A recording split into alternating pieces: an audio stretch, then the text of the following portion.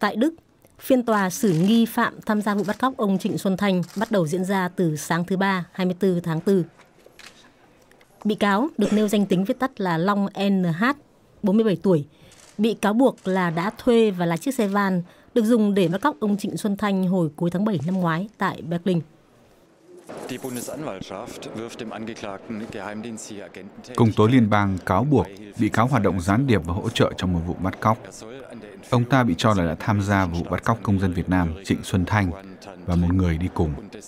Cả hai bị tống vào một chiếc xe van Volkswagen tại Berlin hồi tháng 7 năm ngoái giữa ban ngày, sau đó bị đưa về Việt Nam, bất chấp nguyện vọng của họ.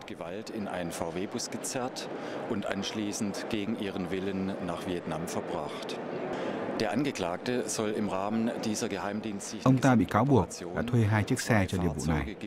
Một trong hai xe được dùng để theo dõi các nạn nhân, một chiếc để thực hiện vụ bắt cóc.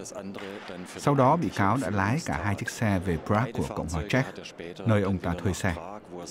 Dựa trên các thông tin chúng tôi có, thì chiến dịch này được lên kế hoạch và được thực hiện bởi cơ quan an ninh của Việt Nam với sự tham gia của các nhân viên tòa đại sứ Việt Nam ở Berlin.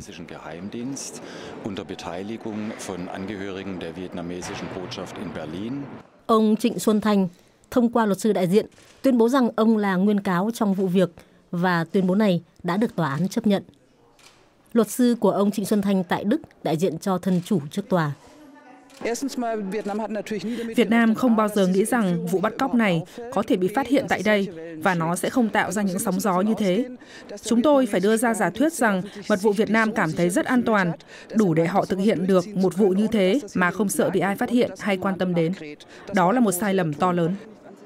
Vụ xử diễn ra tại tòa hình sự ở Berlin, theo kế hoạch diễn ra trong 21 ngày không liên tục, kéo dài từ nay cho tới cuối tháng 8.